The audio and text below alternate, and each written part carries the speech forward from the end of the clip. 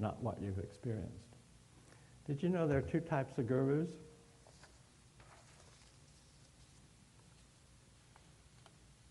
Well, yes or no? Sit there like rocks.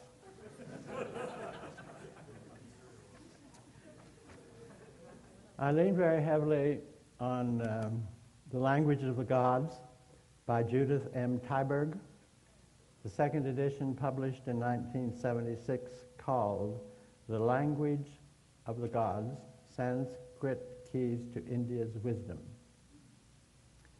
And also on Arthur and Anthony MacDonald's A Practical Sanskrit, Sanskrit Dictionary published in 2001 and also on the Hindu guys that ran my local magazine and newspaper and cigar store in New York, who actually had learned Sanskrit. So when I couldn't figure out a Sanskrit thing, a word, I took it up to them and I said, is this the right translation? And in, in, the book, you know, they could, you know, it's, it's the language of consciousness. So when a Western person translates it as an aspect of matter, I have a right to find out. So these, these guys in the tobacco shop said, oh no, that doesn't mean that. So I was helped by these three sources, by the way. But Judith Tyberg's book is a wonderful book. Are, are any of you familiar with it?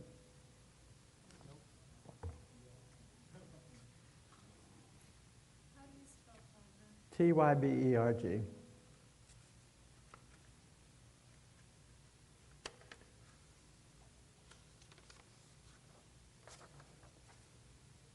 In Tyberg's book, but not only there, guru is translated into English as a teacher, right? Okay. Um, there, there are three different aspects to this. Number one, teachers transfer to their students only the information they are supposed to, while learners receive that information the best they can. This is in the dictionary. Got it? So, you've been taught what you've been taught, and you've learned it the best you can, and the teacher's done the best it can to transfer that information to you. And second, information that conflicts with what is taught and learned is discouraged and not taught. Have any of you ever experienced that? Yep. Three, innate potential capacities that might conflict with what is to be taught, learned, are likewise discouraged, not taught, and not developed into reality, actuality, rather. Have any of you experienced that? Were you taught remote viewing in, in grade one? Why not? Were you taught telepathy in the third grade? Why not? Did you ever wonder why not?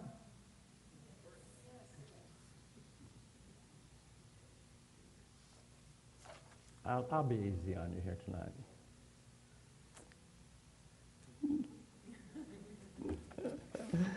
Where's my two, two gurus here? Okay.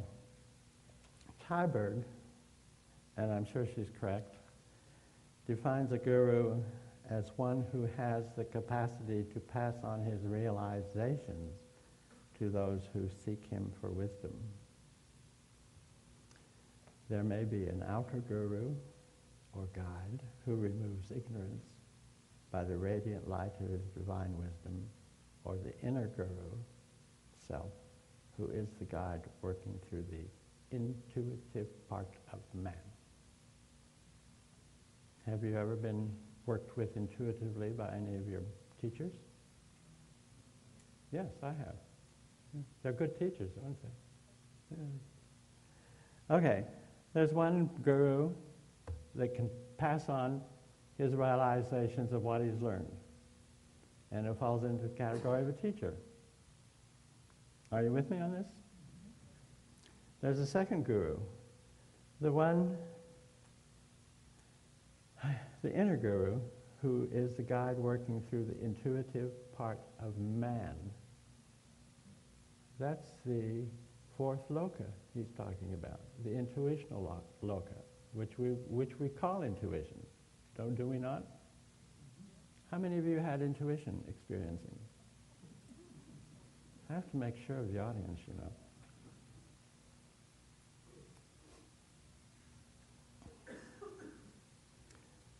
Do you know where the word guru comes from in Sanskrit?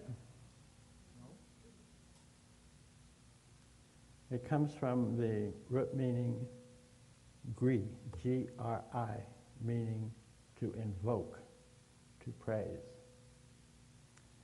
So a guru is basically supposed to be, anyway, invoke something in his chelas or his students. What would be the most likely thing that the second guru would try to invoke in his students? Intuition. He, he uses his intuition to invoke the intuition category or capacities of his students. That's different from just left hemisphere teaching, isn't it? That falls sort of into a right hemisphere interaction between teacher and student. We don't know that, but they knew it way back when, these Sanskrit people. Now, have I bothered you enough so far? Yes?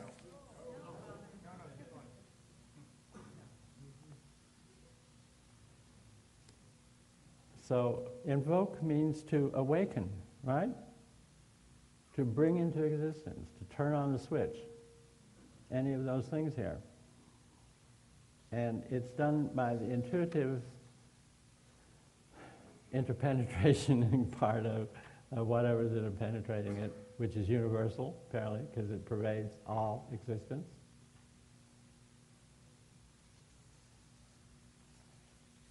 Have it, and so you can, you can awaken intuition, and when you awaken intuition, you awaken the uh, powers of intuition.